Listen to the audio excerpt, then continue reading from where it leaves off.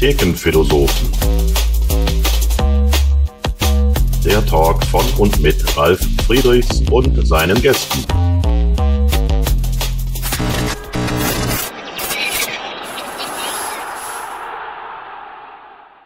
Hallo und herzlich willkommen bei den Thekenphilosophen. Ja, die Thekenphilosophen müssen sich ja heute wieder mit dem ersten FC Köln befassen. Ich sage bewusst müssen, weil äh, es hat ja nicht so großen Spaß gemacht letzte Woche, als wir da nach dem Darmstadt-Spiel, ihr habt es ja alle gesehen, noch eine Live-Sendung gemacht haben, Julian und ich, und äh, ein bisschen Dampf abgelassen haben. Wir wollen es heute ein bisschen ruhiger machen, natürlich auch einen Blick auf das nächste Spiel werfen. Und da haben wir auch heute einen ganz speziellen Gast mit Hinsicht auf dieses nächste Spiel gegen Paderborn. Das ist der Martin Schongiorno. Grüß dich, Martin. Hallo, Hallo, grüß dich. Freut mich hier zu sein. Ich freue mich auch, dass das geklappt hat. Ist eine wunderbare Sache. Und äh, für den, den der Name jetzt vielleicht noch nichts sagt, möchte ich einfach noch mal was erwähnen, nämlich äh, natürlich auch Zweitligaspieler gewesen, 27 Zweitligaspiele für unter anderem auch den ersten FC Nürnberg. Du hast mehr als 300 Drittligaspiele gemacht und äh, auch 100 Tore gemacht. Position war scheinbar dann noch Stürmer. Ja, Mittelfeld. Mittelfeld. Und für Mittelfeld natürlich dann auch, aber hallo, nicht schlecht. Ne? Ja, später warst du im Scouting-Bereich tätig und hast äh, beim ersten FC Nürnberg begonnen, hast aber dann über die Umwege sozusagen von Hannover 96 dann auch zum SC Paderborn es seinerzeit äh, zum Leiter Sport des Lizenzspielerbereichs gemacht, äh, geschafft. So nennt sich das offiziell und warst dann der Sportgeschäftsführer des SC Genau. Paderborn und zwar zusammen mit Steffen Baumgart, den wir ja hier sehr gut kennen. Genau. Und ihr seid zusammen zweimal aufgestiegen. Einmal aufgestiegen, genau. Also und du warst derjenige, der die Mannschaft zusammengestellt hat, kann man so sagen. ja, ne? das kann man so sagen, ja. Einige, also, Also nicht allein natürlich, er ist Ja. ja immer im Team, aber schon auch sehr verantwortlich. dann Erstliga-Erfahrung dann als Sportgeschäftsführer gesammelt und äh, spannende Zeit werden wir sicher gleich auch noch drüber zu, zu sprechen kommen und äh, im Vorfeld werden wir aber natürlich versuchen auch noch mal das Ganze im Nachgang zu diesem gerade gelaufenen FC-Spiel noch Ja. mal in Verbindung zu bringen und dabei wird mich natürlich wieder einer bestens unterstützen, er ist ja wirklich eine absolute Stütze der Thekenphilosophen, der Mann von Focus Online, Julian Witze. Julian, herzlich willkommen auch dir. Ja, danke. Den, den Freitag gut überstanden. Geht so. Ja, ja wir, wir haben ganz schön gelitten. Also ich muss, muss dazu sagen, wir haben ja, wir sind natürlich auch Fans. Ne? Das wird natürlich auch ganz offen dann auch dargelegt. Ne? Und natürlich nach so einem Spiel, äh, da, da ist mit der Sachlichkeit nicht so allzu weit gewesen. Wir haben uns bemüht. Ich glaube, wir waren sogar noch relativ sachlich. Ähm, aber naja, natürlich musste man auch ein bisschen Dampf ablassen. Ja, wie hast du es denn als Externer wahrgenommen? Also du hast es wahrscheinlich nicht selber verfolgen können. Doch, doch, doch, doch, Ja? natürlich auch. Ich Dann schaue alle Spiele. Bitte, dann bin ich gespannt auf dein, dein Ja, Statement. also dazu. das Ergebnis spricht der Bände und es war auch, finde ich, in der Höhe völlig verdient. Ja. Also es war ein ganz schlechter Auftritt, muss man wirklich so sagen. Äh, aber es gibt halt im Fußball, muss man auch sagen, das gehört dazu. Äh, ich glaube, dass der 1. FC Köln ja auch ein Verein ist, wo es nie so eine richtige Richtung in Ruhe gibt, wo immer so ein bisschen Unruhe ist. Es wird ja dann über 2-1 Sieg zu Hause schon viel diskutiert, wie schlecht es war. Und so, äh, so einen Eindruck macht das dann auch zurzeit. Äh, und der SV Darmstadt steht mit dem Rücken an der Wand. Die müssen Spiele gewinnen, um unten rauszukommen. Und äh, wenn du dann einen schlechten Tag hast, dann kannst du halt in der zweiten Liga, wie in allen anderen Ligen, halt auch gegen alle Mannschaften verlieren. Und das ist halt so eingetroffen. Es hat auch nur deswegen für viele überraschend gekommen, äh, weil man ja eigentlich gerade mit einem Erfolgserlebnis in die, in die kleine Länderspielpause gegangen ist. Ähm, war man sich da vielleicht auch ein bisschen zu sicher? Kann sowas passieren? Oder? Nee, eigentlich nicht. Also das, äh, das glauben ja viele so im Umfeld immer, dass die das auf die leichte Schulter nehmen oder weniger laufen oder kann. Also das würde ich zu 99 Prozent mal ausschließen, dass das der Fall ist. Es gibt Tage, das weiß ich selber als Spieler, da läuft es super. Und es gibt Tage, da bist du von Anfang an auf dem kalten, falschen Fuß erwischt. Und da läuft es gegen dich. Und nochmal, wenn du dann eine Mannschaft hast wie Darmstadt, bei der dann praktisch auch jeder Schuss noch ein Treffer ist, Die gebrannt haben. äh, die, die richtig ne? gebrannt haben und du findest dann in dem Moment auch das Mittel umzuschalten, weil du es ja am Ende des Tages als Erzhefter Köln auch gewöhnt bist oder gewohnt bist, dass du die spielbestimmende Mannschaft bist und auf einmal passt das alles nicht und dann tun sich natürlich gute Fußballer öfter schwer, das umzu, umzulegen, den Schalter und dann so dagegen zu halten. Äh, dafür ist der FC Köln dann im Moment, glaube ich, nicht stabil genug, das immer wieder zu können. Trotzdem ist es ja eine gute Mannschaft. Ja, aber nicht die beste der zweiten Liga. Das wird ja immer wieder behauptet, äh, teilweise von Gegnern, also von gegnerischen Trainern. Äh, das haben wir ja doch am Freitag auch schon besprochen. Ist dir im Nachgang noch so irgendwas aufgefallen, jetzt was wir jetzt am Freitag natürlich aufgrund der Emotionalität nicht mehr so besprechen konnten? Natürlich auch jetzt im Nachgang, wie man mit der Pleite umgeht. Äh, ja, schon, dass der Christian Keller die Mannschaft schon extrem angezählt hat, finde ich, auch mit sehr markigen Worten. Öffentlich halt. öffentlich. Ne? Gut, stellt sich halt immer die Frage, die du beantworten kannst, wie clever das teilweise auch ist, weil im Endeffekt führt, das ja, führt man das ja zurück eigentlich auch auf ihn, weil er ist ja dann wieder der Kaderbauer. Ne? Also ist das dann eigentlich auch so ein eigenes schlechtes Zeugnis, weil er sich selbst dann wieder so ein bisschen einstellt. Ne? Ich könnte, ich- ich könnte mir vorstellen, dass es auch daran gelegen hat, dass er ja gesagt hat, dass er eine Entwicklung gesehen hat, eine Negativentwicklung. Die hat er bestimmt intern schon angesprochen. Ich kann mir nicht vorstellen, dass das intern nicht besprochen wurde. Ich weiß nicht, du, du kennst das in vergleichbaren Fällen halt.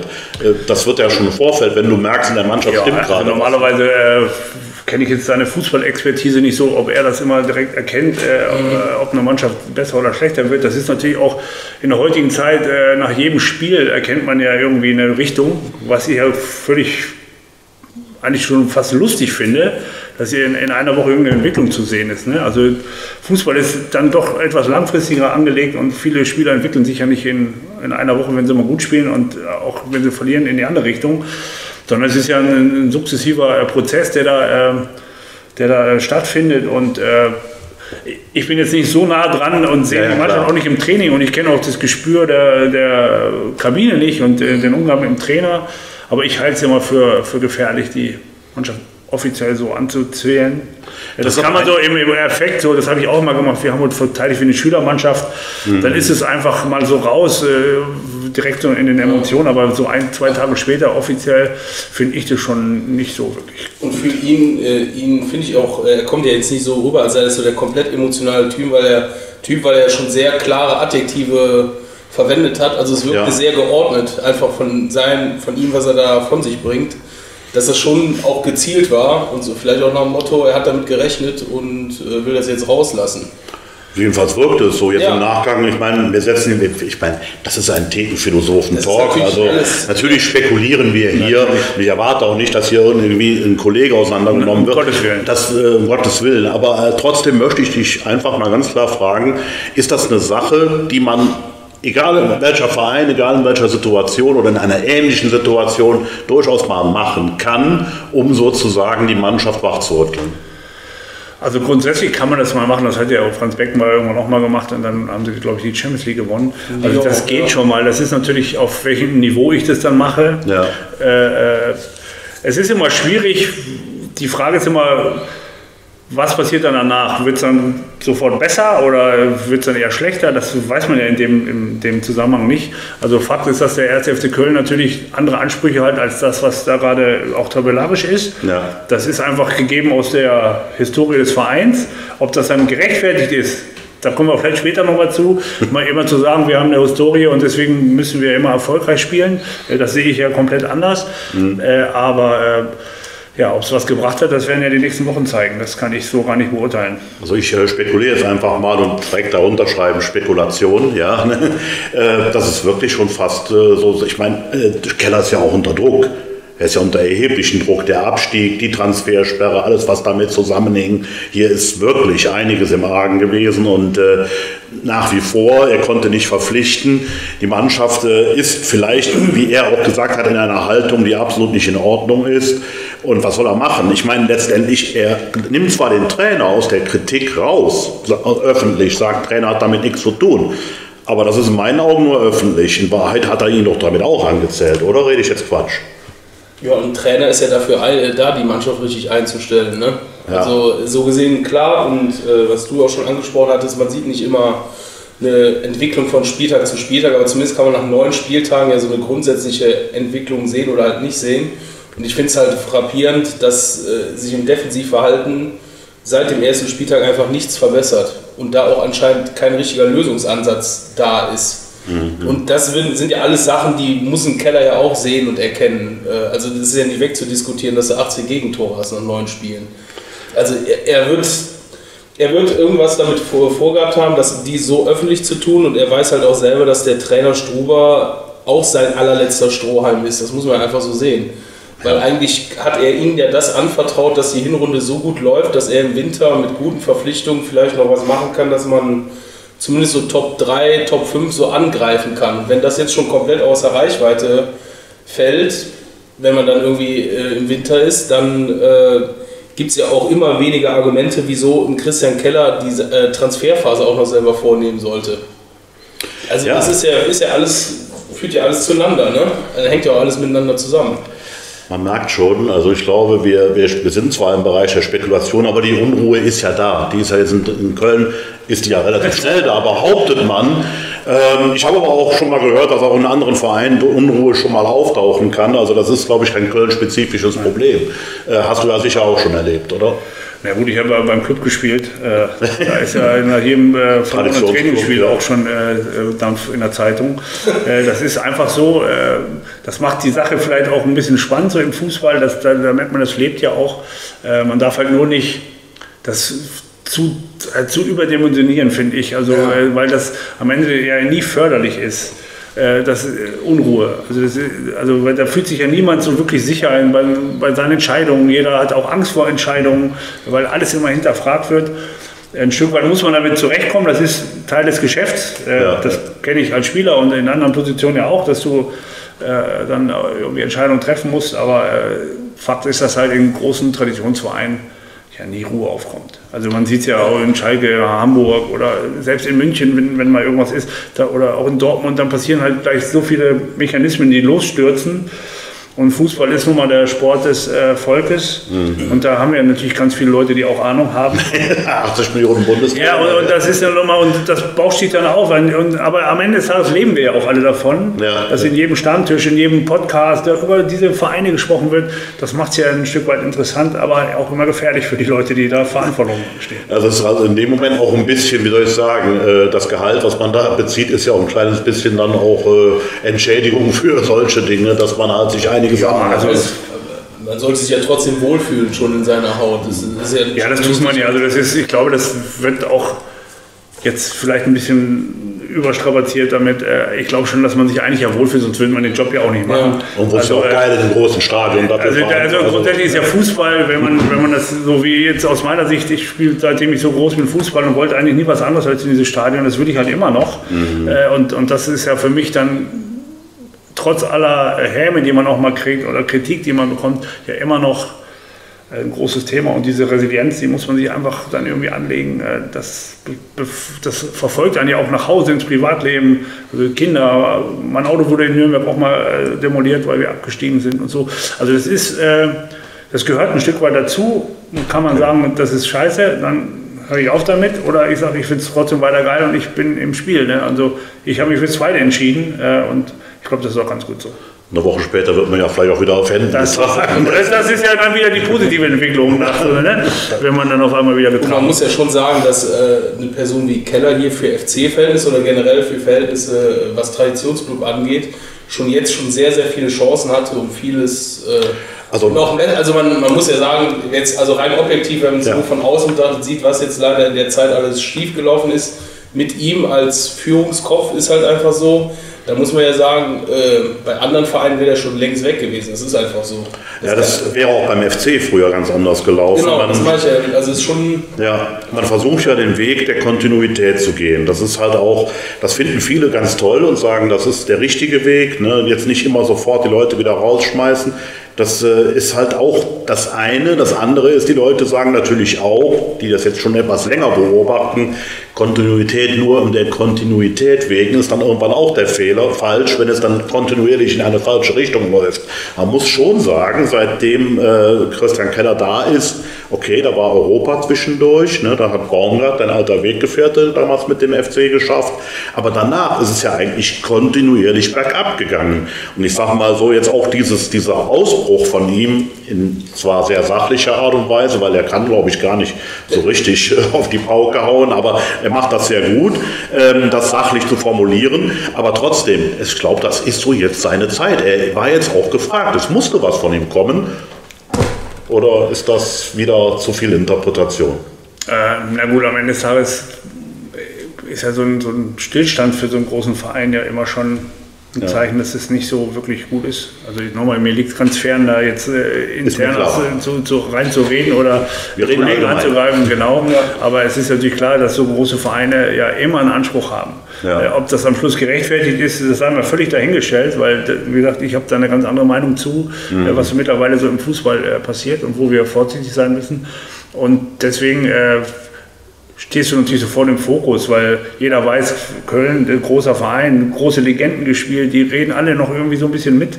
Das ist ja in diesem Verein so, manchmal ist es auch gut so, dass es so ist. Mhm. Äh, und du, die wollen halt immer eine stetige Weiterentwicklung sehen. Äh, und da ist ja die Frage, wie lange gebe ich dem Zeit? Also manchmal sind ja Entwicklungen, so wie ich das eingangs schon sagte, äh, ja nicht in einer Woche oder in zwei abzusehen. Das ist ja für mich ein völliger Trugschluss zu sagen, die Mannschaft ist jetzt eine gute Entwicklung gelungen, weil sie zweimal gewonnen hat. Mhm. Also das ist ja für mich, wo ich sage, ja, die haben jetzt zweimal gewonnen aber deswegen müssen sie ja nicht eine mega Entwicklung gemacht haben. Also ich glaube, diese Entwicklungsprozesse dauern auch wirklich mal über Jahre.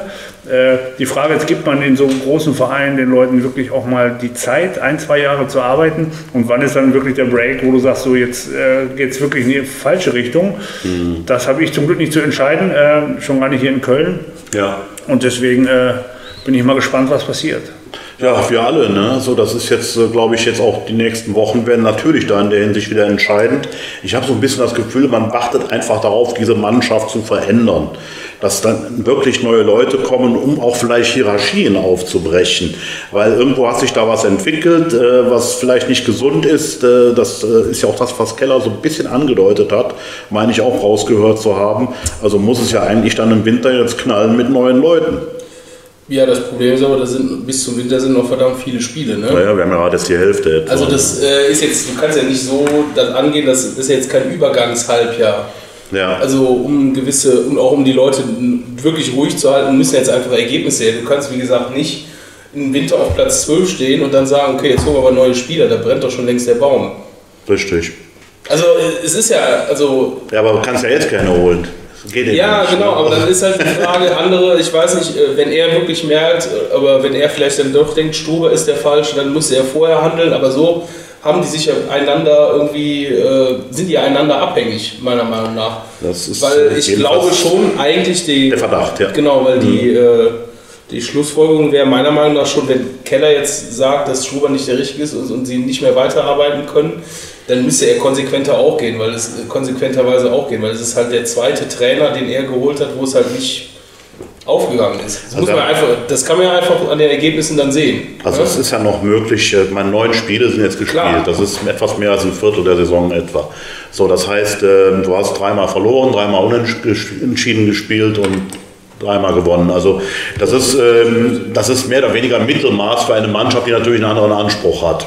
Muss der FC seinen Anspruch vielleicht verändern? Ist die gar nicht aufstiegsfähig, die Mannschaft?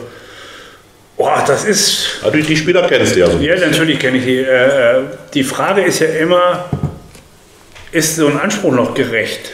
Mhm. Also das ist ja für mich immer die Frage, äh, was ist denn der Anspruch? Klar, aber wie, wie viel, wenn jetzt acht Mannschaften den Anspruch erheben, äh, aufsteigen zu wollen, dann gehen da sechs schon mal damit falsch. Das ist richtig. Vielleicht ein noch, der in die Relegation dann kommt.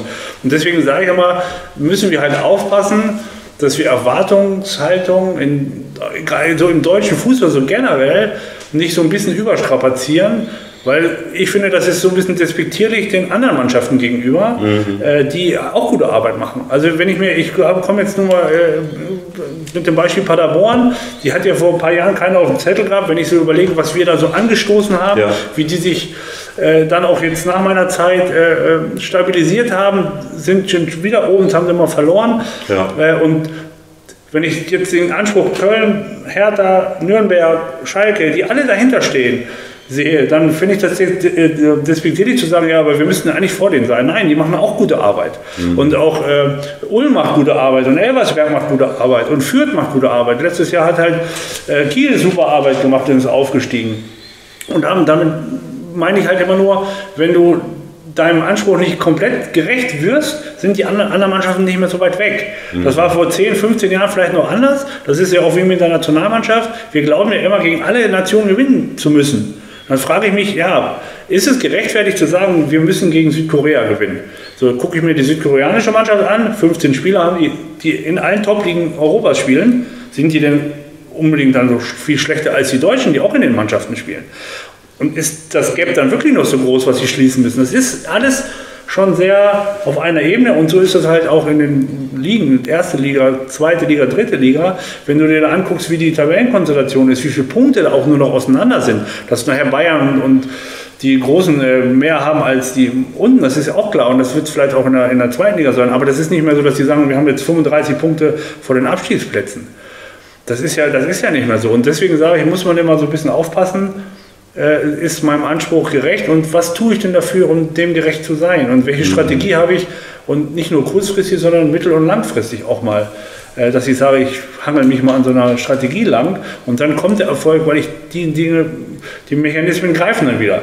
Weil nochmal, ich sage, in den vermeintlich kleineren Vereinen sitzen mittlerweile auch überall Fachleute, die äh, sagen, wir starten natürlich das äh, Entwicklungspotenzial ist ja wesentlich größer, weil es ein kleinerer Verein ist. Mhm. Aber die machen das gut und dann sind die ja nicht wesentlich schlechter. Und man sieht es ja auch, ne? in den letzten Jahren sind äh, oft die kleinen Vereine Eben, aufgestiegen. Der HSV, müssen wir ja nicht drüber reden, versucht seit vielen Jahren jetzt wieder und äh, das ist auch noch nicht ganz klar, wie das ausgehen wird, logischerweise. Also äh, es sind immer die sogenannten etwas kleineren Vereine, die sich äh, immer öfter durchsetzen. Man muss gucken, was aus Heidenheim geworden ist. Ne? Ja. Oder und einige leben, andere. Die leben ja schon alle auf, auf, von der Kontinuität auf den jeweiligen und, und das ist das, was ich meine. Und deswegen sage ich immer, ja. Äh, viel, viele, natürlich ist Gewinn und Verlieren das Maßgebliche im Fußball. Und wir können natürlich auch immer sagen, wir wollen uns langfristig irgendwo hin entwickeln. Wenn du alle Spiele verlierst, ist das Thema auch durch. Auch mit einem selber, der diese Strategie entwickeln will. Aber manchmal glaube ich, dass man auch mal den zweiten Schritt schon mal im Auge haben will. Wollen wir das, wo wollen wir überhaupt hin? Und ich verliere das Ziel halt nicht aus den Augen. Ist es halt nicht der gerade Weg, komme ich halt über einen Umweg, aber ich komme zu diesem Ziel. Und dann, glaube ich, äh, geht es den Verein besser. Aber durch natürlich die, den finanziellen Druck, den man natürlich auch hat, als Vereinsverantwortlicher äh, Ziele ja. zu erreichen, äh, spiegelt das natürlich auch dann immer äh, so, so Themen wieder, dass dann die Kontinuität auf den Führungspositionen, die mhm. eigentlich am meisten Geld kostet, dann doch nicht vorhanden ist. Ne? Ja, das ist ja. einfach so. Ja, das ist nicht äh, einfach. Einfach ist es nicht. Ja, aber ich glaube halt schon, die, ich glaube, das wäre schon ein anderer äh, Gesichtspunkt hier aus Kölner Sicht wenn man jetzt schon sehen könnte, dass aber die Mannschaft zumindest einen klaren Plan hat, die muss ja dann nicht unbedingt viel mehr Punkte jetzt geholt haben, aber es wirkt auf mich halt sehr uninspiriert äh, bzw. nicht geplant, was in der Defensive vor sich geht. Und das ist, ich glaube, das ist halt das, was auch sehr rumort. Ich glaube, es gäbe schon andere, es wäre schon was anderes, als wenn du jetzt nicht so einen, so einen mehrfachen Schuss vom Bug bekommen hast, wo ganz klar wird, wo die Fehler in der Defensive liegen wenn man dann das Gefühl hätte, dass der Trainer oder die Mannschaft da in irgendeiner Form gegen ankämpfen kann, aber irgendwie wirkt die auf mich so hilflos, was das angeht. Und dafür meine ich, muss die Qualität in der Mannschaft einfach besser sein, um sich dann erst vier Dinger gegen Karlsruhe zu fangen, dann nochmal fünf gegen Darmstadt, wo die Gegentore fast so Blaupausen sind, weil die halt immer gleich fallen. Ne? Und das ist ja auch das, was du sagst, mit Kontinuität du entwickelst ja auch eigentlich so eine Spielidee und sonst was und äh, verfestigst ja, das. Die Frage ist ja, wer entwickelt die denn? Das ist ja für mich die Frage, wer entwickelt denn die Spielidee? Und wir, da, haben, wir haben immer noch die Baumgart-Strategie. Ja, ne? natürlich, natürlich. Und äh, da, da denke ich mir mal, Köln muss ja Köln Fußball spielen. Und Bayern spielt Bayern Fußball und Schalke spielt Schalke Fußball. Und das ist ein unterschiedlicher Fußball. Und ich finde, dass die Verantwortlichen dem, weil das Vereinsemblem ist immer noch das Größte, was es gibt im Fußball. Das ist der Verein. Und ich sage, wenn ein Verein sich so wie Ajax Amsterdam ganz klar positioniert und sagt, wir spielen 4-3-3, wenn hier ein Trainer kommt, der 3-5-2 spielen will, dann gucken wir uns das ein Spiel an, ist er weg. Wir wollen so einen Spieler, äh, Trainer gar nicht verpflichten. Und ich glaube, dass es manchmal einfacher ist, eine ganz einfache Idee zu haben, die muss manifestiert sein in irgendwelchen Themen, dass man sagt, wir wollen diesen, diesen Fußball spielen. Mhm. Weil das Problem ist ja auch, und damit beschäftigen sich natürlich auch die Manager und Kaderplaner, wenn permanent ein neuer Trainer kommt, der eigene Ideen hat, eigene Spieler auch mitbringen will, die er favorisiert, dann kommt das irgendwann, wenn du keine Kontinuität hast, ja zu einem riesen Tohuwabohu. Da hast du da 30 Spieler rumlaufen. Das ist ja schon was Gutes, das ist bei uns nicht der Fall. So, ne? Nein, natürlich nicht, okay. wohl, wohl, wohl dem dann mal eine schwere Hand, ne? Genau. Nein, nein, und, und deswegen sage ich ja, äh, ist es ja manchmal auch gar nicht so einfach, dann äh, dem Thema so gerecht zu werden. Weiß Ja. ich aber, was ich tun Ja. muss, um diesem Verein zu dienen. Das hört sich jetzt Ja, dumm an, ist aber so. Und sagen, wir, wir spielen diesen Fußball und der linke Verteidiger, der muss das und das bei mir können. So, dann weiß ich, was ich für einen linken Verteidiger suche. Wenn der Trainer jetzt sagt, ich brauche aber einen, der den Ball nur nach innen spielt und nicht nach außen, das ist ja ein Unterschied, ob ich mit Guerrero auf der Außenverteidigerposition spiele oder mit Davis bei Bayern. So, wenn ich, wenn ich das permanent tausche, dann tausche ich ja permanent, natürlich kann man sagen, die Trainer, die da viel wechseln und so, Guardiola, sind alles toll. Also ich finde das faszinierend, aber manchmal ist es für diese Vereine besser, die haben eine ganz klare Strategie und einen Bilderrahmen, in dem man sich bewegt und aus dem man auch nicht raus kann. So ein Rahmen hält ja auch zusammen. Also Ja, der ja. hängt nicht nur eine, hält auch zusammen.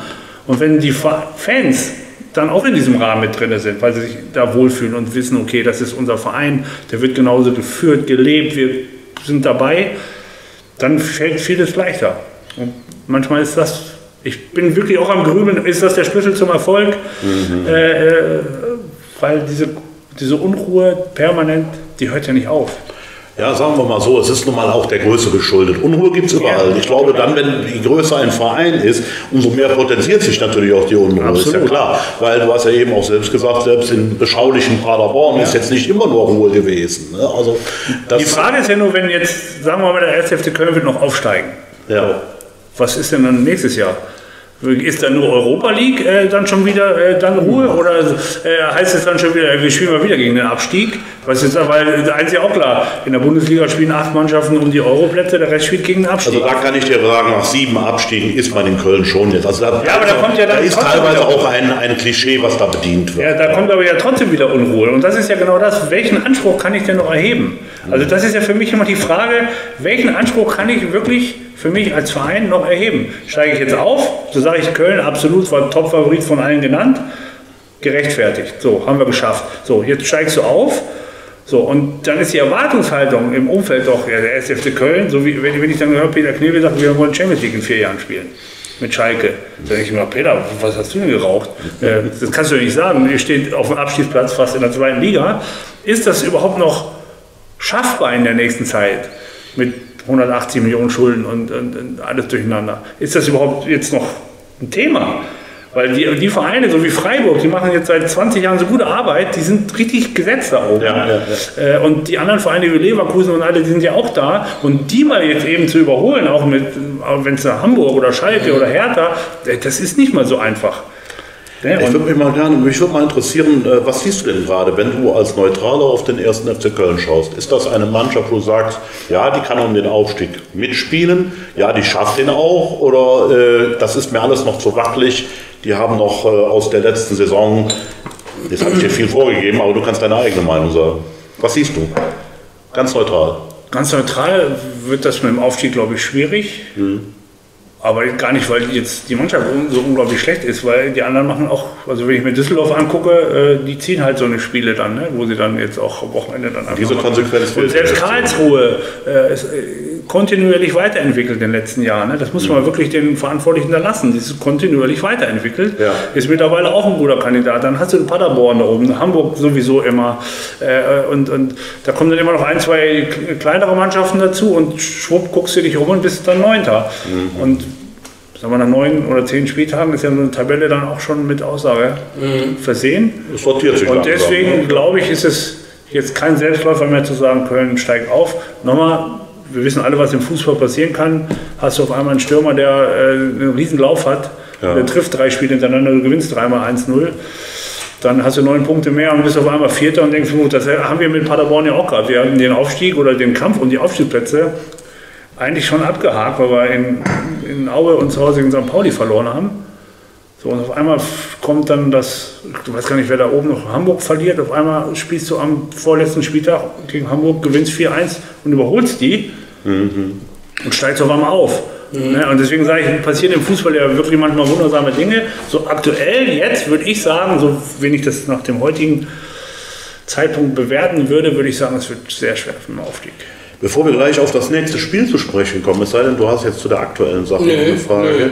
würde ich den Martin gerne mal zu, bezüglich seiner, seiner Vita natürlich befragen und besonders natürlich auch, wie deine Zusammenarbeit auch mit einem Steffen Baumgart war, weil wir haben ja eben schon gesagt, Steffen Baumgart ist ja hier irgendwo immer noch präsent, weil seine Art Fußball wird ja im Prinzip versucht weiter und natürlich optimiert und irgendwie von einem anderen Trainer, der durch ein Assessment Center gelaufen ist, da kannst du gleich auch noch zu sagen, ob du ein Freund davon bist. Ähm, ja, und äh, letzten Endes dann die Frage, äh, wie du mit ihm sozusagen dann auch klargekommen bist und ob es vielleicht auch ein Fehler war, nicht länger an ihm festzuhalten. Also die, erst ich komme auf den Eingang zurück, äh, die Zusammenarbeit ist eigentlich relativ gut. Also kann man eigentlich, also ich hatte überhaupt keine Probleme mit ihm. Natürlich hast du immer über Spieler, also die, die, die Thematik Manager, Trainer, Spieler dazwischen, ist der gut, ist er nicht gut, will er den haben, will er den nicht haben, ist äh, immer, immer nicht so einfach. Wobei ich immer, das ist aber auch meine Meinung, eher sagen muss, der Verein bestimmt, wer die Spieler, welche Spieler kommen und nicht der Trainer. Das ist so ein bisschen meine, meine Denkweise. Das heißt aber ja für mich dann auch, dass ich den Trainer länger stützen muss, weil er das ja auch ein bisschen umsetzen muss. Also, ne, wenn der Trainer nicht alles, wenn der Trainer alle seine Spieler mitbringt, dann müsste ich ihn nach fünf Spielen rausschmeißen, weil das, du hast ja nur einen Mucks gemacht. Deswegen muss das immer ein guter Einklang sein. Den hatte ich mit Steffen total. Also äh, wir haben uns viel ausgetauscht. Äh, ich habe ihn aber auch seine Arbeit machen lassen, also auch nicht permanent reingefuscht. Man hat sich natürlich mal über taktische Vorgaben mal unterhalten. Äh, wir haben uns auch jeden Tag irgendwie gesehen, weil Paderborn ist, Leistungszentrum ja auch relativ eng ist. Und ich habe mir viele Trainingseinheiten angeguckt, manchmal unter dem Platz, manchmal oben vom Balkon, also dass man auch immer über den Stand der Spieler Bescheid wusste. Äh, und das war eigentlich sehr gut. Steffen ist, finde ich, auch jemand, der andere Meinungen akzeptiert, wenn, und das war von mir auch immer so ein bisschen Vorgabe, wenn der Physio oder der Arzt sagt, der ist verletzt, dann ist er verletzt, dann wird nicht gespritzt, dann wird nicht da, vielleicht dauert doch noch. Und das hat Steffen super gut umgesetzt, auch mit der athletischen und physischen Abteilung bei uns. Das finde ich immer gut, dass ein Trainer nicht sagt, nee, der muss jetzt spielen, der kann ja doch, der kann ja gehen, der kann ja auch spielen. Hast du denn auch an der Spiel, praktisch die Art und Weise, wie ihr gespielt Ja. habt, habt, habt ihr das gemeinsam besprochen? Äh, Das war natürlich, wurde das schon ein Stück weit äh, auch von Markus Krösche und ihm eingeleitet, weil die waren ja eher zusammen, ich kam da dazu und wir haben das ja dann noch ein bisschen, äh, ja, ein bisschen stringenter gezogen, weil ich ja dann eine Scouting-Strategie äh, auch ausgearbeitet hatte, äh, wie wir welche Spieler finden. Wir haben dann verschiedene Datenbanken dazu genommen. Das Paderborn hatte vorher überhaupt keine Scouting-Abteilung, hatten einen, der da ein bisschen rumgefahren ist. Ich habe das, ich hab das ja dann komplett einge, eingeführt und wir hatten dann auch Datenbanken äh, wo wir dann unsere, unsere Skills für die Position theoretisch ab, abrufen konnten. Und äh, das hat dann eigentlich ganz gut funktioniert, sodass wir dann diesen Spielstil natürlich dann weiter, weiter äh, haben. Hast du den später beim FC wiedergesehen? Ja, er hat auf jeden Fall versucht, also die Spieleröffnung und so, das sieht man dann ja schon. Nochmal, das, du hast ja nicht sofort alle Spieler da. Also wir hatten ja, bei uns war das zum Beispiel so, wir haben gesagt, ich würde gerne einen, Stür einen Außenstürmer als Außenverteidiger sehen. Weil die einfach diesen, diesen permanenten Drang nach vorne haben. Das ist für, so wie ich Fußball auch sehe, finde ich das schön und wichtig. Und Mo Dreger kam ja von Freiburg als äh, Stürmer und der hat bei uns dann in der zweiten und auch in der ersten Liga rechter Außenverteidiger gespielt, ist auch Nationalspieler so geworden. Und dieses Denken, Gerrit Holtmann hat dann hinten gespielt und so, also wir haben das dann schon äh, versucht immer so zu machen, weil wir gesagt haben, wir wollen einen unheimlichen Zug zum Tor haben, wir wollen Tore schießen, Tore schießen, Tore schießen, weil nur dann hast du Erfolg. Offensive Spielweise Ja. hat mehr Erfolg als defensiv. Äh, Und äh, das haben wir halt, glaube ich, mit 76 Toren in der zweiten Liga sehr gut umgesetzt. Und dann den Aufstieg geschafft. Genau. Ne? Das war ja ein Riesenerfolg, dann auch für dich natürlich logischerweise zusammen Mhm. mit allen anderen dann gemeinsam den Aufstieg zu feiern. Du Ja, nee, nee, äh, ich habe noch im, so im Hinterkopf, meine ich auch, als ihr dann in der Bundesliga wart, wurde der Spielstil dann trotzdem gefeiert, Ja. auch wenn vielleicht die Ergebnisse hier und da ausblieben, weil man gesagt hat, man bleibt sich so treu. Und äh, das ist jetzt zum Beispiel dieser krasse Gegenentwurf zu Kölner Zeit quasi, weil hier wurde es dann halt in der zweiten, in, äh, in der dritten Saison, genau, dann halt irgendwann kritisiert, dass man gesagt hat, er ist zu engstirnig, bleibt seinem System treu, obwohl er merkt, es führt jetzt gerade nicht mehr so zum Erfolg. Ähm, glaubst du, dann ist er vielleicht auch teilweise zu stur, wenn er merkt, dass es trotzdem keinen Erfolg hat? Oder also vom Typ her einfach. Ja, also natürlich hast du immer eine Idee. So, die hat jetzt sehr gut funktioniert. Muss man sagen. Also in Paderborn gut. Der hat im letzten Jahr in Paderborn dann auch nicht mehr so funktioniert. Also, aber das ist ja auch immer, welche Spieler hast du dann zur Verfügung? Mhm. Kannst du das so wirklich so umsetzen, dass das immer sofort auch greift? Ne? Wenn dann der Gegner Spieler, stellt sich ja auch immer mehr drauf ein. Der Gegner ein. stellt sich ein bisschen ja. drauf ein. Natürlich brauchst du dann vielleicht mal ein paar Nuancen. Mhm. Oder halt immer bessere Spieler, die noch besser, also sagen wir, ein Mittelstürmer, der dann in Paderborn gespielt hat, der muss dann die und die Skills haben. Wenn er dann aber für einen größeren Verein oder für einen anderen Verein, der muss ja noch besseren Spieler präsentieren. Die Möglichkeiten hast du natürlich dann auch, mhm. weil du finanziell auch ein bisschen anders dastehst. Aber ich finde es auch äh, eigentlich gut, wenn man für einen Fußball steht, mhm. ob man dann immer ein paar Nuancen anpasst und ob man immer die Spieleröffnung so macht oder ob man immer sagt, der, die Sechser dürfen nie auf Höhe der Abwehrspieler, sondern die müssen immer. Ich bin da ein Fan von. Mhm. Wie gesagt, ich bin ein Fan von Ajax Amsterdam, die machen das seit 100 Jahren so und haben Erfolg, äh, obwohl die eigentlich gar keinen Etat haben, wenn man das mal vergleicht äh, und äh, was die für Spieler verkaufen. Ja. Äh, und, und das ist, meine ich ja mal, muss man sich ein Stück weit auch als Verein positionieren und sagen, was sind wir eigentlich für ein Verein? Sind wir ein Ausbildungsverein? Haben wir einen Anspruch? Oder sagen wir, nee, wir wollen das nicht so. Und da jetzt sich zu identifizieren und dann den Spielstil schon anpassen, weil ich glaube, dass jeder also jeder Bereich in Deutschland irgendwie anders Fußball spielt. In Freiburg wollen die tollen Fußball spielen. Da brauchst du mit nicht kommen, wir spielen auf dem zweiten Ball. Mhm. So, das, äh, äh, das brauchst du aber vielleicht äh, hier in, im Ruhrpott. Oder sagst, wir wollen da vorne rauf und wir wollen marschieren. Ja, die ja. wollen halt einen feingeistigen Fußball sehen, weil die auch eine Studentenstadt sind. Ja, so wie in Paderborn haben gesagt, wir sind halt eine sehr zukunftsorientierte digitale Stadt. Äh, wir haben viele Studenten, wir haben junge Familien, die denken alle nach vorne wenn du so Fußball spielst, hast du im Unterbewusstsein alle Zuschauer auf deiner Seite. Und ein Beispiel, wir verlieren zu Hause 5-1 gegen Schalke in der Bundesliga und die Fans stehen 20 Minuten nach dem Spiel und klatschen nochmal die Mannschaft bis zum 3 oder 4-1 in der 85. Minute marschiert ist wie verrückt. Naja. Und dann sage ich mir, dann hast du eigentlich alles richtig gemacht, weil du kannst dich dann auf, aufgrund des Standorts Paderborn in der Bundesliga wahrscheinlich noch nicht so dauerhaft messen. Aber wir haben halt Spiele gerade in München, zu Hause gegen München, wo wir auch knapp 3-2 verloren haben und die am Schluss gar nicht mehr aus dem 16er rauskamen. Und das ist Bayern München. Oder in Dortmund mit dem 3-3 und so auch gezeigt, dass es auch funktioniert. Okay. Also ich habe jetzt ganz bewusst nochmal die Zeit mit Baumgart, das war mir halt auch wichtig, weil er ihn natürlich bestens kennt und weil wir im Prinzip dieses Prinzip ja übernommen haben. Ähm, mit Strober, der eigentlich natürlich das versucht zu verfeinern, oder sehe ich das falsch? Also man hat ja ganz klar gesagt, man will ja auch so, eine ja. einheitliche Linie fahren ja, ich über alle U-Mannschaften. versucht zu verfeinern, das ist jetzt gerade noch. ja. Okay, äh, ja, also, es, wird ja kein Trainer sagen, ich spiele den Baumgart-Fußball. Da, da muss man ja sagen, unter Baumgart standen wir in der das Bundesliga ist ja der RB-Fußball den zwei Jahren ja sogar ziemlich stabil hinten. Also wir haben jetzt ja nicht massig an Gegentoren gefressen, deswegen. Lag natürlich an Luca Kilian, ne?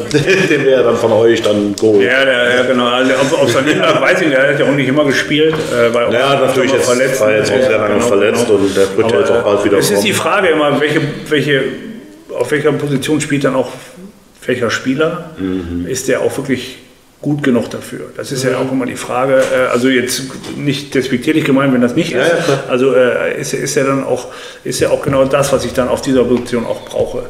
So, und äh, das äh, muss dann immer eine Hand gehen, natürlich mit dem Management, diesen Spieler dann zu suchen und zu, ver zu verpflichten. Also deswegen sage ich immer, so ein Thema ist ja ein Teamthema. Also ja, nie einer sagt, ich bin hier der, der König, äh, das, das gibt es ja nicht. Ne? Und das ist halt auch das, was ich jetzt in dem Sinne, du hast, konntest jetzt den Kader nicht groß verändern, außer die Leihrückkehrer. Und dann musst du dir irgendwie als Trainer auch die, äh, die Kader ansehen und sagen, äh, dann musst du ja vielleicht ein bisschen von deinem Stil abweichen, jetzt der Transfersperre geschuldet. Und dann muss er sagen, wie kann ich die Mannschaft bestmöglich aufstellen, um bestmöglichen Erfolg zu haben natürlich. Und wenn ich dann so ein Spiel jetzt sehe, muss ich jetzt nochmal doch darauf zurückkommen, wie Darmstadt, wo man in der ersten Halbzeit zwei, drei Aktionen sieht. Und dann habe ich schon als die Hoffnung, als Fan oder auch generell als Spielbeobachter, dass zumindest in der Halbzeit irgendwie eine Umstellung dann spätestens stattfindet, dass man nicht nochmal drei Gegentore frisst, die baugleich sind. Okay, zwei, der eine war nochmal ein Standard. Aber das ist so das, was ich dann vermisse, wo ich dann denke, okay, da muss man dann doch irgendwie noch eingreifen in der Halbzeit. Und das hat halt in zwei Spielen schon elementar gefehlt. Definitiv. Ich meine, das mit dem Eingreifen, Ingame-Coaching, da reden wir ja hier jede Woche drüber. Äh, ja, das ist aber auch ein Thema. Ne? So, jetzt, jetzt, jetzt, jetzt sage ich dir, jetzt liegst du hinten in Darmstadt 2-0, Halbzeit, ne? Nee, da war es noch 2-1. Ja, so, ja, was willst du denn jetzt umstellen? Wenn der umstellt und sagt, wir machen hinten erstmal dicht, dann sagt jeder, sag mal, bist du doof, in Köln, wir müssen nur in Darmstadt gewinnen. Wir liegen hinten, wir müssen angreifen. Wenn das dann nicht funktioniert, dann hauen, hauen sie dir das auch wieder vor die Füße. Deswegen ist ja manchmal, wo ich sage, du musst dem Stil dann treu bleiben und das funktioniert mal und das funktioniert noch nicht. Hätten sie jetzt mit der gleichen Thematik das Spiel noch gedreht, hätte jeder gesagt, boah geil, der ist treu geblieben, wir haben vorne attackiert, wir haben offen, offensiv gespielt. So, und oft ist es ja nochmal, das sind ja auch ganz viele kleine persönliche Fehler, die bei so einem System dann immer zum Tragen yeah. kommen. Dann bist du mal offen, dann sind die Außen- und Innenverteidiger zu weit auseinander oder der Torwart ist nicht weit genug rausgekommen oder keine Ahnung, oder der Sechser hat nicht richtig zugepresst, sodass er den, den Ball spielen konnte, wie auch immer. Das kommt ja auch noch dazu. Und deswegen sage ich manchmal, ist es Fußball ist, ist ja auch am Ende ein Fehlerspiel. Ja. Und äh, das macht es aber auch so schön. Und wir können stundenlang diskutieren und ich würde am liebsten hier wochenlang mit euch sitzen und diskutieren über sowas. Aber du wirst nie die richtige Lösung finden. Die Nationalmannschaft das ist das Gleiche. Ne? Spielt super, bis einmal hinten offen, schießen die Holländer ein Tor. So. Ja, es ist so. Ne, also und, äh, spielst aber den Rest der 90 Minuten überragend, mit, genau mit der gleichen ja, Thematik ja. weiter. Ne? Das war wirklich äh, gut. So, und deswegen sage ich immer, wo, ist, wo, wo liegt die Wahrheit? Die Wahrheit liegt immer dann am Ergebnis. Ja. Aber das ja, weißt das du vorher nicht und du wirst daran gemessen. Und das ist das Problem. Ja, das ist das generelle Problem des Fußballs. ja, Wenn so. ich mir die Ergebnisse aussuchen könnte, wäre es einfacher. Ja. ja. ja. Aber ja. dann kommt ja immer noch ein Gegner dazu, der das auch gern will. Ja, ich meine, die machen sich alle ihre Gedanken. Und an dieser Stelle möchte ich das hier noch mal ganz kurz loswerden. Ich glaube nicht, dass sich heute noch sehr viele Darmstädter Fans äh, in unserem Podcast verirren, aber letzten Freitag haben es viele und die haben sich ein bisschen geärgert, äh, dass wir angeblich da äh, ja, wie soll ich sagen, ein bisschen überheblich gewesen wären. Ich sehe überhaupt nicht, dass wir ansatzweise überheblich waren. Wir waren am Boden zerstört.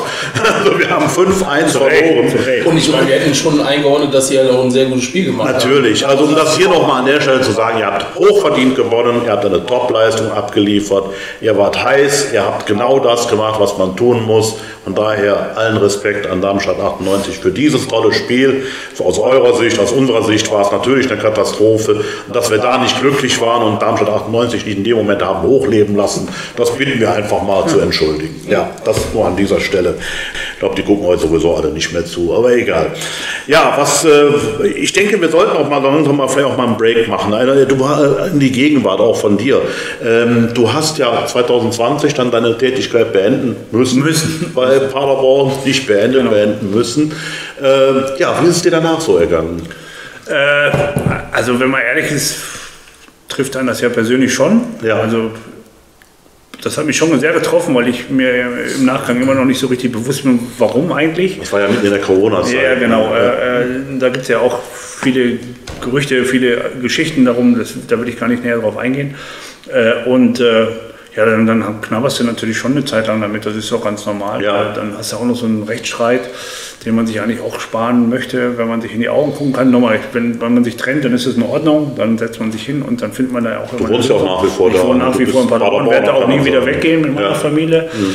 Ähm, und deswegen äh, war das schon irgendwie ein bisschen merkwürdig. Habe mich dann geschüttelt, bin nach wie vor im Fußball, äh, habe dann ja zwei Jahre lang für, äh, von 21 bis 23 für Capelli, Capelli Sport, ja. ein großer Ausrüster aus Amerika, äh, mit Sitz hier in Ratingen in Deutschland, die Europazentrale. Genau, und da habe ich als Head of Football gearbeitet. Das heißt, die sind ja Eigner und Co-Eigner von vielen Vereinen mhm. und Akademien äh, weltweit. Und ich war also das strategische Oberhaupt der ganzen Geschichte. Habe äh, Head of Global, ach nee, das nee, nee, Head of Global nicht, nee, nee, aber eigentlich nichts anderes. Eigentlich ist also ähnlich wie Jürgen Klopp. Eigentlich, was Jürgen Klopp jetzt gemacht hat, das war ich so ein bisschen für, ja. für, für, für äh, Capelli und äh, habe dann viel mit dem MSV Duisburg zu tun gehabt und in Dänemark für die Vereine oder für, für HB Köhl, das ist ja Zweitliga-Verein. Großes Talent entdeckt. Genau, habe äh, dann den Santiago Castaneda gefunden, in einem, oder entdeckt, gefunden, hört sich doof an, beim Turnier Capelli Cup, den gibt es einmal im Jahr in Dänemark mhm. und ich habe ihn da zwei Halbzeiten spielen sehen und habe gesagt, das ist genau genau der Spieler, den ich gerne nach Deutschland holen würde äh, oder nach Europa. Und, äh, Santiago Castaneda, Castaneda spielt jetzt bei Paderborn. Spielt jetzt bei Paderborn, genau. Und äh, ja, das ist natürlich immer schwierig, wenn, wenn so ein Investor mhm. oder ein, ein Owner, wie man es auch immer nennt, äh, Spieler transferieren will, dann heißt es immer, das wird aufgedrückt.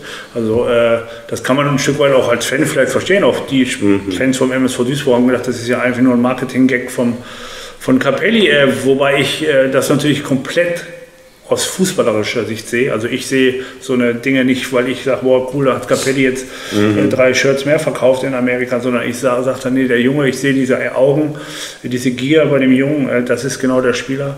Und habe den dann wirklich äh, äh, gegen alle Meinungen in der Capelli-Welt, bis auf zwei, die auch das gut fanden aus Amerika, die technischen Direktoren von Capelli, äh, durchgezogen und wir haben den hier rübergeholt nach Duisburg zum Probetraining. Der hat da vollends überzeugt. Äh, ja. Und dann hat er unterschrieben mit 18, der hat vorher noch nie Schnee gesehen, das war auch ganz witzig. Ah, der kommt aus Tampa Bay, totaler Sonnenjunge. Ja. Ja, und dann äh, haben sie, wie gesagt, alle gesagt, naja, das ist ein Marketing und der hat dann 30 Spiele, glaube ich, gemacht äh, als 18-Jähriger in der dritten Liga, in einer Abstiegsmannschaft, wo ja auch dann eher auf die Erfahrung gesetzt wird. Ja. Und das hat er so gut gemacht, äh, dass er dann ablösefrei zum SC Paderborn gewechselt ist und da auch schon wieder jedes Spiel 90 Minuten fast spielt. Der, glaube ich, jetzt ist er einmal ausgewechselt worden. Ja. Und das zeigt mir, dass das äh, ein Spieler ist, der sicherlich in den nächsten Jahren äh, bei größeren Vereinen noch Also noch sozusagen ein, äh, auf Trüffelschweinarbeit unterwegs. Ja, das mache ich ja nach wie vor. Also ich bin ja, ich werde auch sicherlich, das ist in Planung, äh, jetzt im nächsten Monat eine eigene Akademie gründen, ja. wo wir wirklich auch Spieler aus der, aus der ganzen Welt versuchen, äh, fußballerisch weiterzubringen, weil ich eine unheimlich große Affinität für Spieler habe, gar nicht so für die ganz Kleinen. Also das ist jetzt, weil das ist schon sehr mühselige Arbeit. Ich ziehe da die Hut. Ich, mein Junge ist selber neun. Ich trainiere da die Mannschaft auch manchmal. Da denkst du, oh, das ist schon ein harter Tobak, äh, wenn manche nicht mehr den Arm kreisen können beim Laufen. Da, deswegen äh, bin ich dazu, äh, sag mal, zu ja, nicht geduldig genug, äh, um da reinzugucken, sondern eher so die Spieler, die dann in den richtigen Fußball so rübergehen, so mit 14, 15, wo es dann ernst wird. Und da gibt es halt auch viele Spieler, die über den zweiten Bildungsweg gehen müssen. Mhm.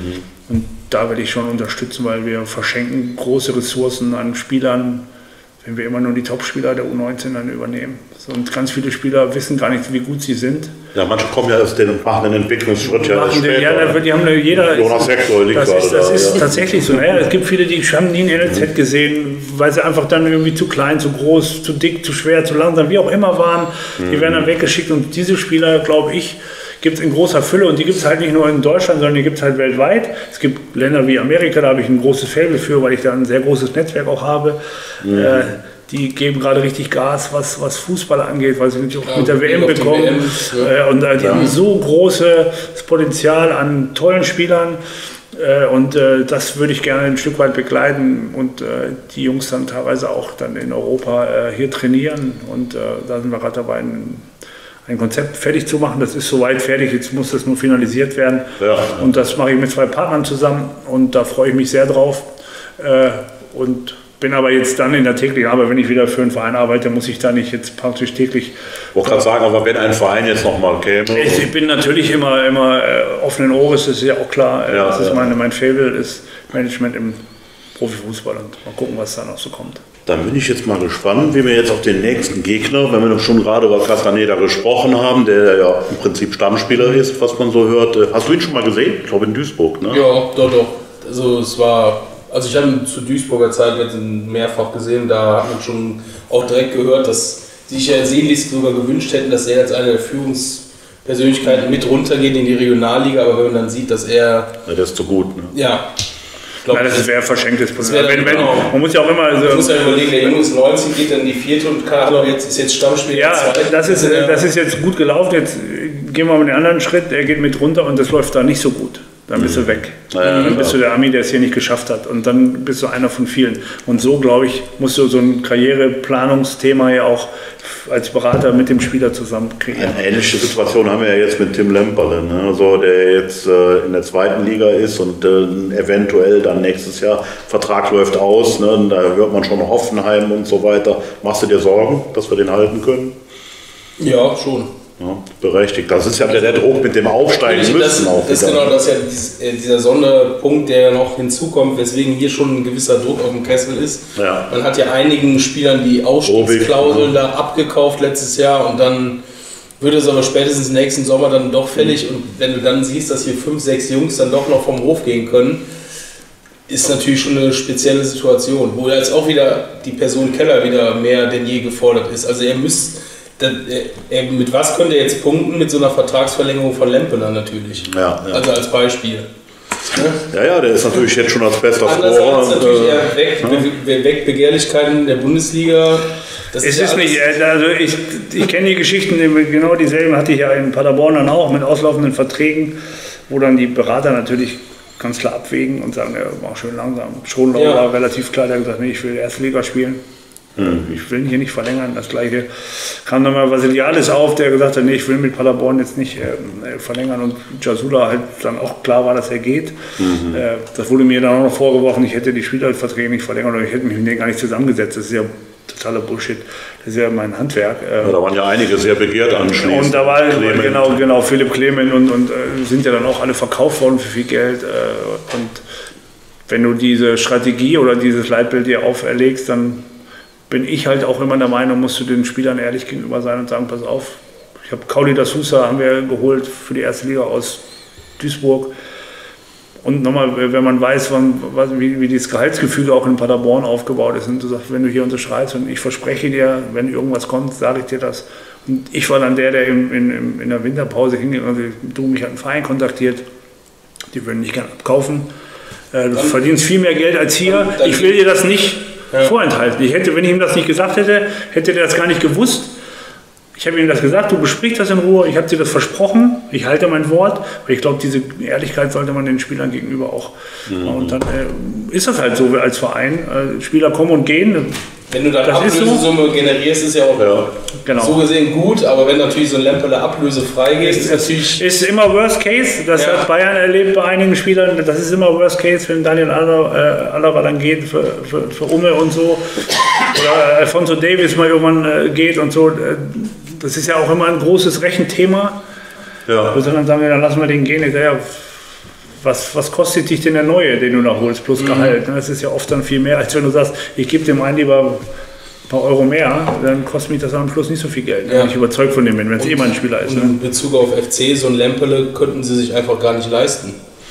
Weil der ist ein junger, junger deutscher Spieler, U21, unfassbar begehrt wie viel Geld müsste der FC ausgeben, um sich so einen dann wieder Oder zu Oder du findest den halt irgendwo. Also ja, das, ist nochmal, du musst dann halt im Scouting so kreativ sein, ja.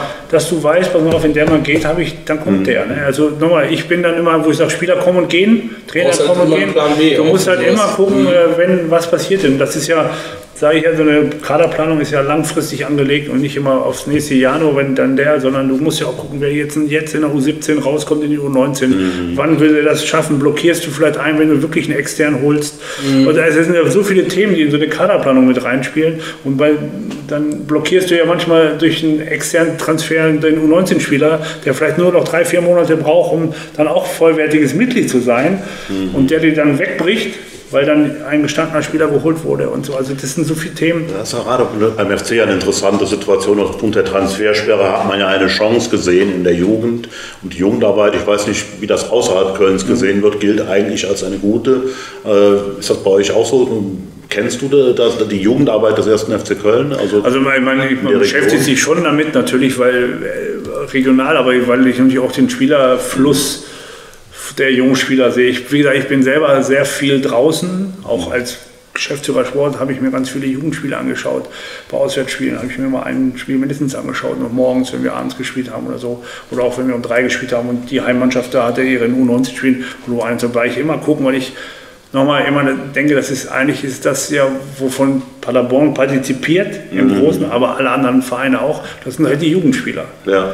Das ist einfach so. Ne? Wir bilden ja eigentlich die Spieler aus für, für die Mannschaften da oben und deswegen äh, lege ich da so großen Wert drauf, auch zu gucken, wie sind so die Trends auch im Ausland. Ich fahre da mal ins Ausland, gucke mir da mal Jugendspieler an.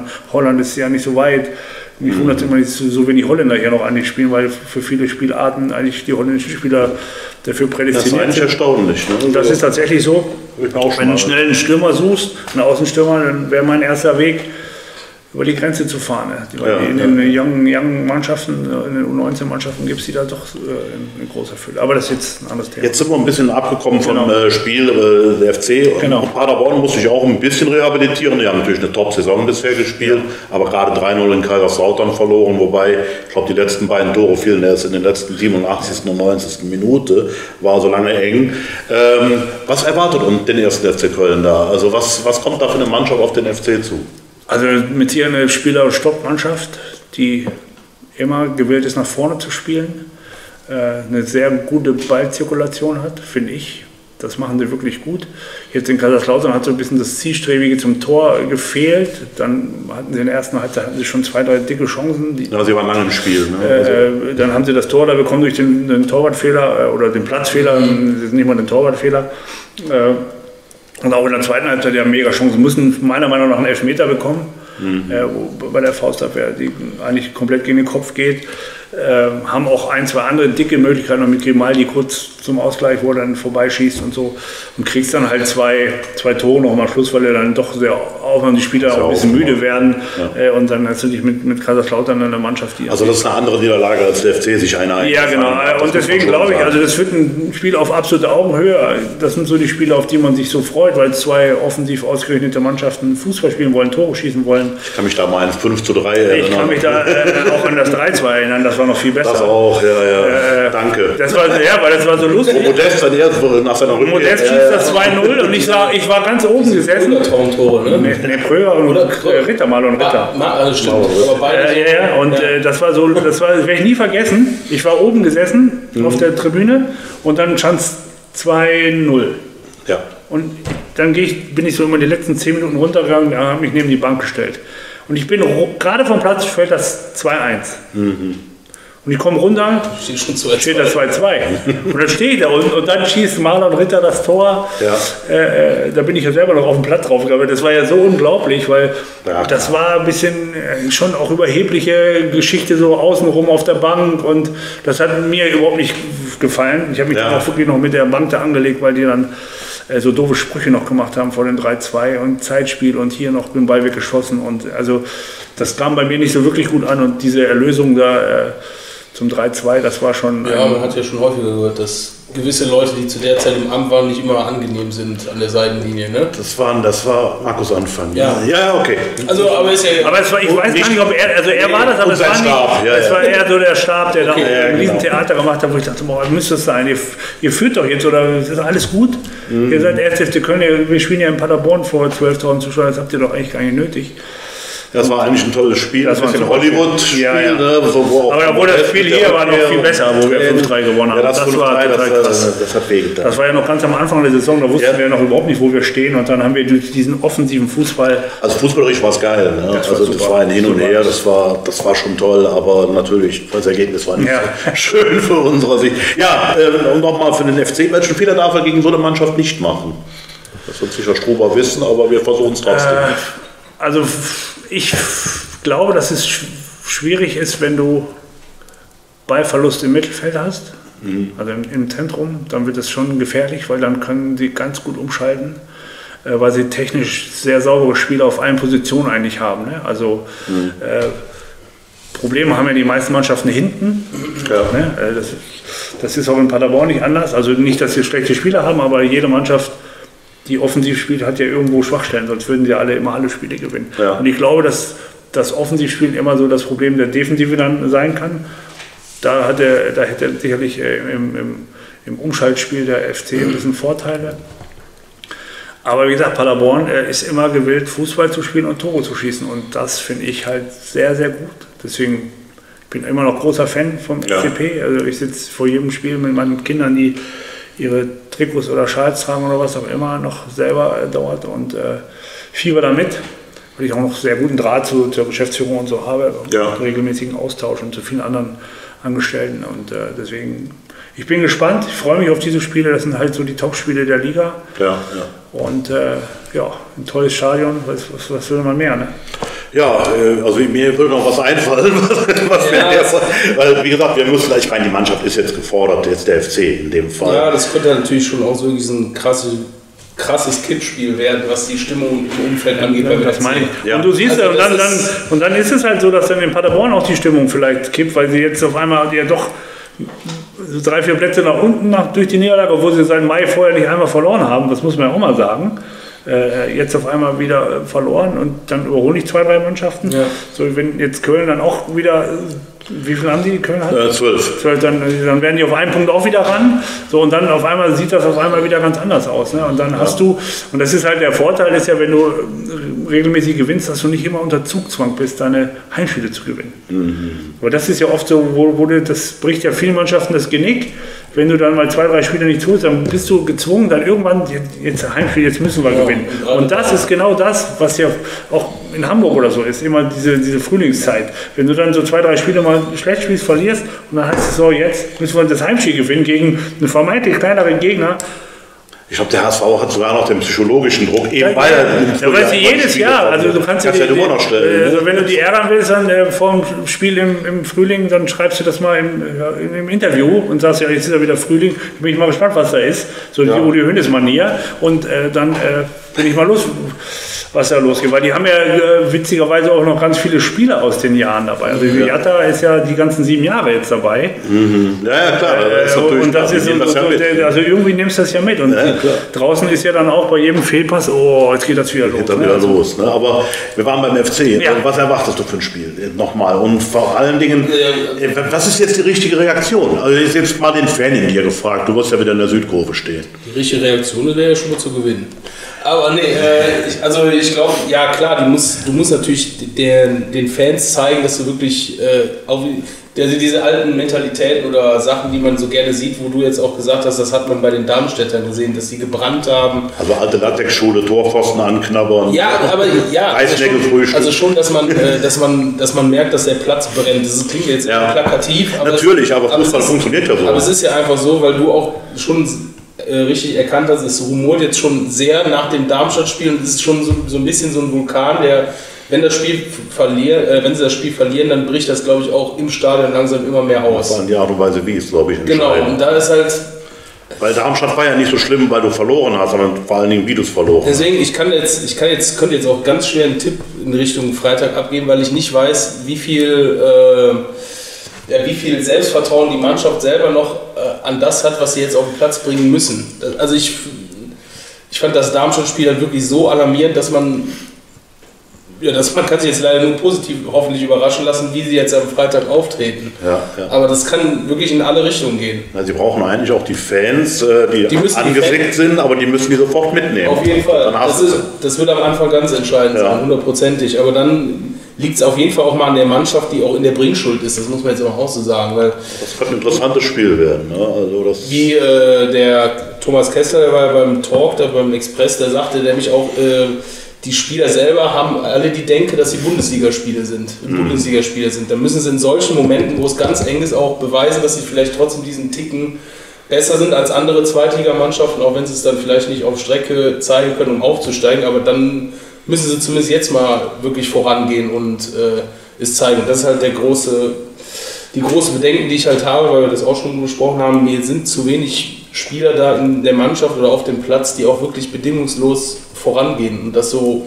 wollen. Und Ja. ja, wie du merkst, ich bin da so ein bisschen, äh, ich, kann, ich kann da nichts drückst du dich um einen Tipp oder? Nee, nee, nee, nee, ich, nee, ich würde schon einen Tipp abgeben, aber ich äh, glaube, es wird, also wenn du mich jetzt fragst schon, äh, ich sag 1-1.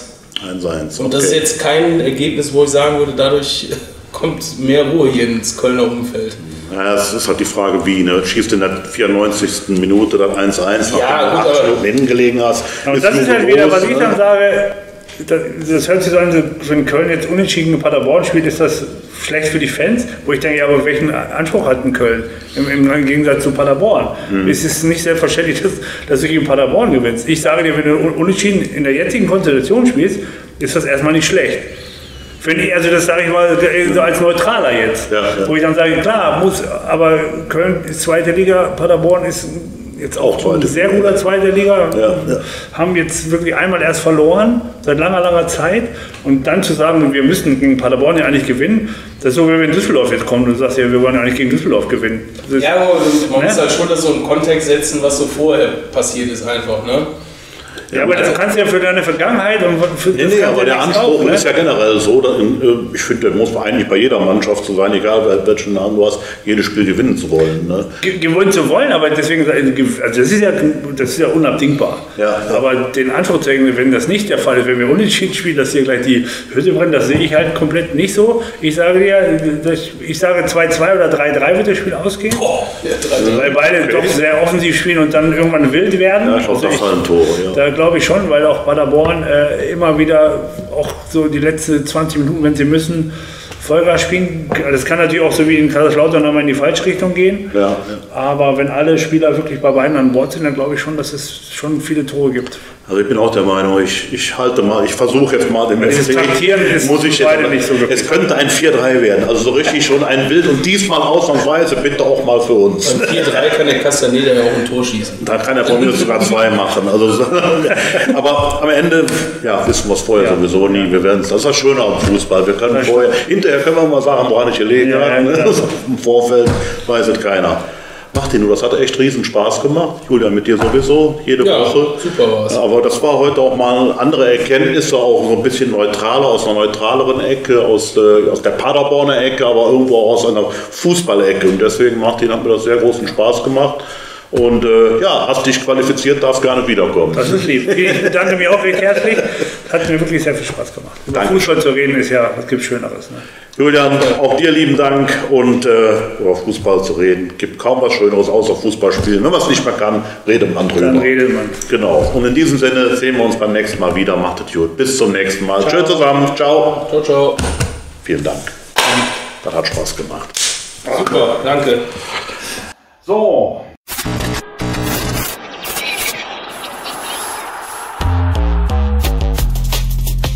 Das war Thekenphilosophen, der Talk. Demnächst wieder auf Sendung.